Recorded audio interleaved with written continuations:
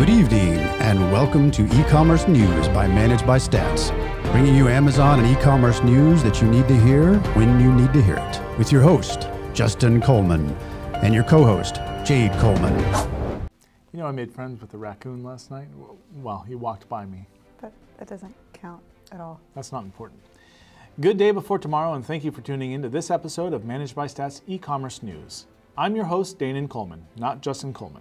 And I am still Jade Coleman. In our first story, Amazon Prime memberships are up. For the first time in the past four years, Prime memberships are up by 3%. This may sound like small potatoes, but this equates to an estimated 30 million new Prime memberships, which means more customers for you. Amazon Prime has a new payment service provider policy as of March 1st. Sellers adding a new payment service must ensure their provider is on a pre-approved list. If you're using a standard bank account or a provider who is on the pre-approved list, such as LianLian Pay, Payoneer, PingPong, and WorldFirst, then no action is needed. If you're not using an approved provider or bank account by July 15, 2021, you're not getting your payouts. Getting paid on eBay has changed. If you're selling on eBay, you may have noticed that they have taken a page from Amazon in how they handle funds. eBay is cutting out PayPal and will deposit your profits directly to your account. No more PayPal fees and no more deposits and then selling fees being withdrawn by eBay. This also means your customers have different options to pay. Hmm. If you're a professional seller, you've read the Amazon Services Business Solutions Agreement, right? Of course you have. Just to refresh your memory though, Amazon requires sellers to carry $1 million in coverage per incident if you're making $10,000 or more in sales per month for three consecutive months, which hopefully you are. Are you selling hygiene or topical products in Europe? April 5th, 2021, a factory seal will be required on all hygienic and topical products. The seal comes with a slew of requirements to deter forgeries. Amazon wants returns to be pristine for resale, so they are looking for an intact factory seal. The seal will prove that a product was never opened or used by a customer who returns it. Products not fitted with a qualifying seal by April 5th, or return products with a damaged or missing seal, will be marked unsellable and will be disposed of at the seller's discretion. Move your meltables. Summer is coming, and with it, Amazon asks that you please remove anything they will have to mop up in the heat.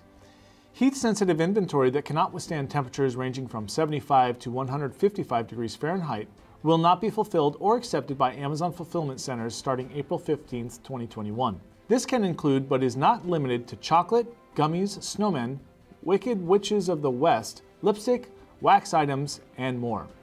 If you don't remove your inventory by then, Amazon will kindly dispose of it for you and charge you for doing so. My bet is that they're going to eat all of that meltable inventory.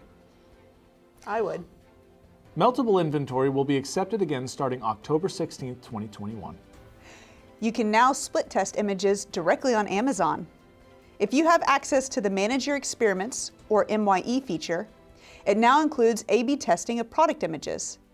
For the first time, you can test alternate versions of your main product image and see what images may drive higher conversions with customers.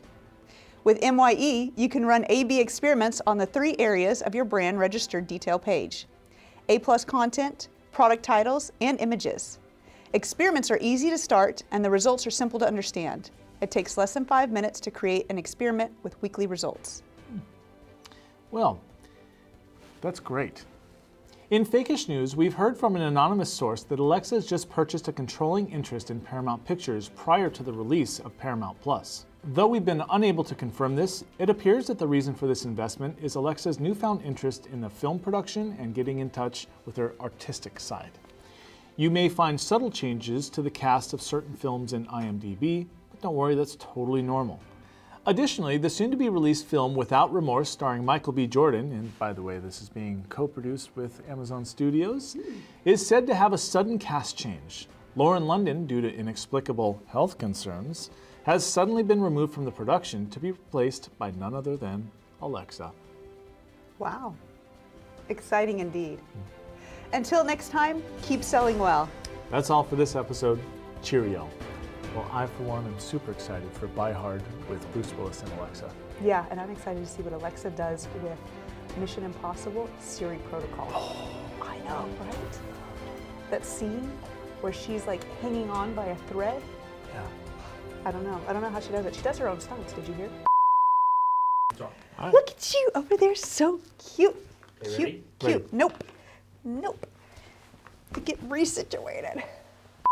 Let it Bless you. go. Let it go. We are still something new I filming, right? Yes, we Yeah. are. April 15th, 2021. What is happening? This is being c- produced. Uh,